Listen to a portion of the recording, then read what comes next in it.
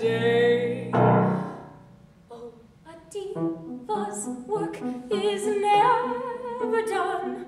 No relief, no time for fun. Not if the diva has to run an opera company. Every small detail to supervise every pretty to scrutinize.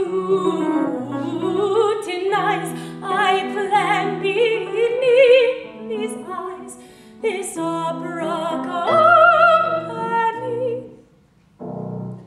Why take on this arduous chore? Sleepless nights I pace across my bedroom floor. Why do I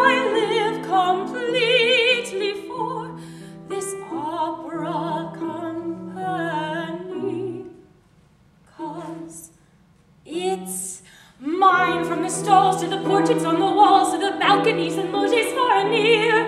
It belongs all to me, every item that you see, from the cellar to the crystal chandelier, from the fluted marble grand facade to the elevated promenade, from every toilet bowl to every leading role. This place is mine. I will sing, I will glow, I will never let it go. Will ever captive in my hand. Like a god, like a queen, I will enter any scene and control it like the kingdom I command. And I pity any baritone who attempts to tread the stage I own. With no polite request, he's here at my behest.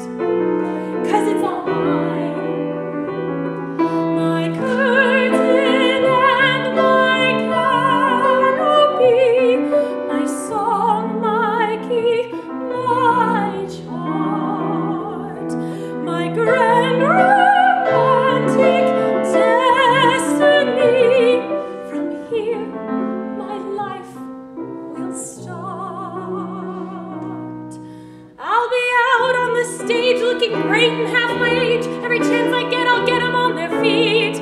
Like a god, like a queen,